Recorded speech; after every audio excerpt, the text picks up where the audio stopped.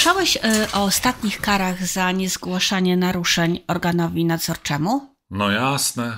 Tylko powiem szczerze, że to jest powtarzający się co jakiś czas e, powód nałożenia kary.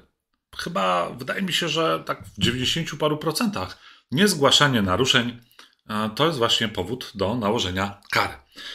To co, może warto chyba przypomnieć przynajmniej te dwa ostatnie. O. Prezes Urzędu Ochrony Danych Osobowych, nasz nowy prezes, Mirosław Wróblewski, nałożył administracyjną karę pieniężną w wysokości 1 miliona, no i prawie 500 tysięcy złotych na Santander Bank Polska SA za brak zgłoszenia naruszenia danych osobowych. Sporo. Sporo. Prezes e, o naruszeniu ochrony danych osobowych, co ciekawe, w Santander Bank Polska dowiedział się z mediów. Samo naruszenie polegało na upublicznieniu dokumentów bankowych znajdujących się w porzuconej na jednym z osiedli przesyłce. Po tym, jak została ona wcześniej skradziona firmie kurierskiej. W przesyłce były m.in. takie dane jak imiona i nazwiska, daty urodzenia, numery rachunków bankowych, dane adresowe i kontaktowe, numery PESEL, nazwy użytkowników i hasła do banku, czy też dane o zarobkach, seria i numer dowodu osobistego, informacje o produktach bankowych. Administrator danych tłumaczył, że nie zgłosił tego naruszenia, gdyż przesyłka została nadziona przez jedną zidentyfikowaną osobę w krótkim czasie po jej utracie przez kuriera. Ponadto ustalono, że nie brakowało w niej żadnych dokumentów, a osoba, która znalazła dokumenty, zaniosła je bezpośrednio na posterunek policji i oświadczyła, że nie kopiowała znalezionych dokumentów. To prawda. Wydaje się, że no jest to niby nic, ale tak często sami wiemy z własnego podwórka, że takie rzeczy się zdarzają. I Tak. nam się wydaje, podobnie jak prezesowi banku, że chyba przecież do żadnego naruszenia Się nie doszło. stało. No ale to jest duży bank, więc i kara była duża. Spora. Y, Była też kara nałożona na Toyotę. Tak jest i to też jest, to też jest e, kolejny bank, Toyota Bank Polska SA, ale co ciekawe, no, tu jest ewidentnie brak zgłoszenia. E, znaczy, czas na zgłoszenie naruszenia, jak wszyscy pamiętamy, jak na pewno też pamiętasz, to jest 72 godziny. doskonale. Natomiast m, bank się spóźnił, bo zgłosił naruszenie po półtora roku. Wow. Zatem e, te półtora roku, e, w zasadzie, kiedy ta skarga wpłynęła, no to, to jakby był czas na to, żeby postępowanie przeprowadzić, Naprawić zweryfikować, naprawić i tak dalej. No ale Było już w ogóle, to w ogóle ma już sens zgłaszanie takiej, e, takiego naruszenia po półtora roku? W momencie, kiedy, znaczy, czy ma sens? No to tak jak zgłoszenie się po popełnieniu przestępstwa. Jeżeli Po sumienie 10 na- latach. Jeżeli nas sumienie dusi, no to zgłaszajmy. To tak. zgłaszajmy się. Ale tutaj ewidentnie mamy wskazane numeratywnie e, Czas. w przepisach czas, więc powinniśmy to zrobić, a nie zastanawiać się, dlaczego nie. A nie czekać. Nie? Gdyby, trwały, gdyby trwało postępowanie wyjaśniające rok, bo byśmy, nie wiem, szukali tego człowieka, do którego dane na, uległy naruszeniu, Tak. to tak, to moglibyśmy powiedzieć, że te półtora roku trwało szukanie. Wysłaliśmy jednego pracownika z plecakiem na rowerze Oszukał. i oszukał. Więc działania były podjęte. W końcu znalazł, e, stwierdziliśmy, że rzeczywiście naruszenie miało miejsce, I zgłosiliśmy. je. Zgłosiliśmy je. No, oczywiście wszyscy by się z nas śmieli, że, że do półtora roku ktoś jeździł na rowerze w naszym imieniu. No ale prawda jest taka, że nie było powodu, żeby nie zgłosić. E, Ale kara tutaj nie była duża, bo wyniosła tylko 78 tysięcy złotych.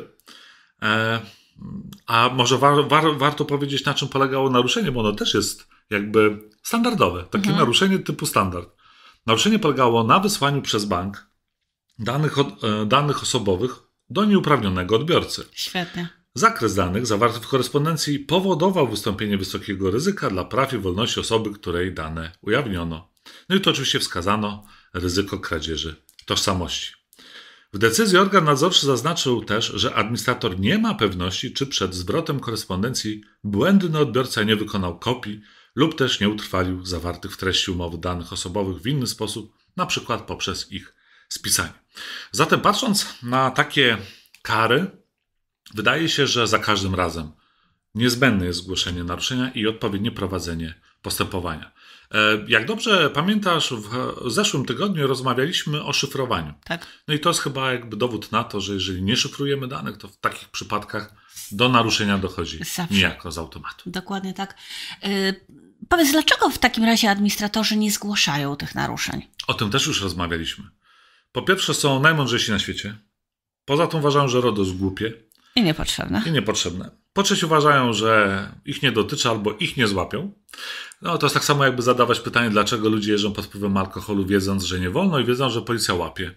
Tak. Czyli na zasadzie takie, a może, może mi się upiecze. I to jest chyba wszystko. A powiedz jeszcze, czy y, sam inspektor ochrony danych odpowiada w jakiś sposób mm, za niezgłoszenie y, takiego naruszenia? Po pierwsze, pamiętajmy, że to nie inspektor zgłasza. To nie inspektor zgłasza. Naruszenie zgłasza administrator danych, no lub podmiot przetwarzający to wszystko w zależności znowu od warunków umowy. Natomiast inspektor ochrony danych powinien zostać poinformowany o tym incydencie, a logiką jest, że powinien przeprowadzić postępowanie wyjaśniające. Powinien stwierdzić, czy doszło w związku z tym incydentem do wysokiego ryzyka naruszenia praw i wolności osób. Czyli powinien wskazać administratorowi, pomóc mu w ustaleniu, czy należy zgłaszać naruszenie, czy też nie ma takiego powodu. No tak jak chociażby to wysłanie zaszyfrowanej wiadomości do nieprawidłowego adresata. Wtedy nie ma wysokiego naruszenia, ponieważ wysyłając do jakiejś osoby, jeżeli, jeszcze jesteśmy w stanie tę osobę ustalić, i nie jest to haker, nie jest to wybitny informatyk albo Kevin Meeting, no ale on już nie żyje, to do niego w zasadzie wysłać nie ma co. E, no nie ma możliwości, żeby taki pierwszy, lepszy, to już tak trochę brzydko mówiąc, tak. odszyfrował dokument, który będzie zaszyfrowany powiedzmy jakimś tam szyfrem ośmioznakowym, dwunastoznakowym, czy nie wiadomo jakim innym. No chyba, że to będzie oczywiście E, raz, dwa, trzy, cztery, albo RODO 2024, albo inne hasło, które jest bardzo popularne. Firmy. Albo nazwa firmy. Albo nie daj Boże końcówka numeru PESEL, albo, albo początek, PESEL, albo, albo cały, cały PESEL. PESEL. Także tu niestety pamiętajmy, że inspektor danych nie może zrobić nic. Może skakać, tupać nóżkami, że rwać włosy z głowy, że rzeczywiście naruszenie wymaga Namawiać, przekonywać. Namawiać, przekonywać, ale... Nie, nie kazać. Ale nie kazać. Natomiast co zrobi administrator?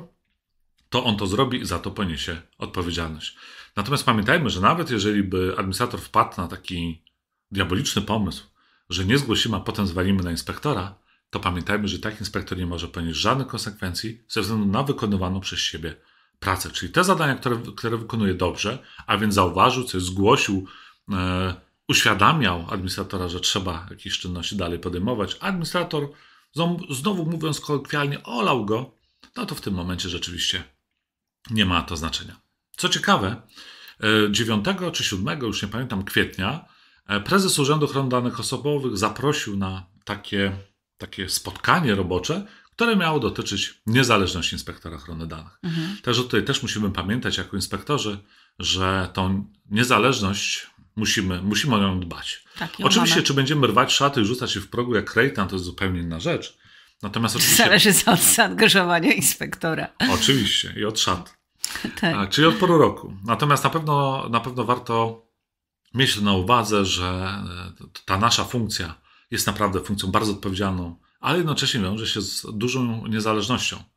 E, I tym samym musimy sami wiedzieć czasami o wiele więcej niż o takich powiedzmy kazusach, niż wie zwykły, zwykły zjadacz chleba. Jasne. Kawa czy herbata? Kawa. Idziemy na kawę. Idziemy na kawę.